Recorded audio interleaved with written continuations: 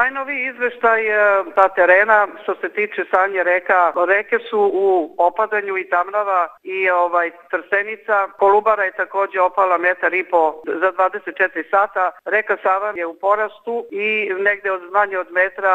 doći će do granice vanredne odbrane ukoliko dođe. Mislim, to, to je sad nešto, prati se stalno, se čitaju vodostaji na našoj crpnoj stanici Skela gde imamo vodomernu letvu, zatim Tamnava se prati, to je sve u koritima. Bitno je da i Kolubara opala za 24 sata, opala je metar i po, ima uspora od Save i to je nešto što je najnovije što se tiče izveštaja sa terena od strane JVP Beograd vode. E,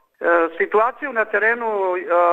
javno vodoprivredno prezeće Beograd sa svojom ovaj službom e, redovno obilazi i prati vodostaje na rekama kao i obilazi sva kritična mesta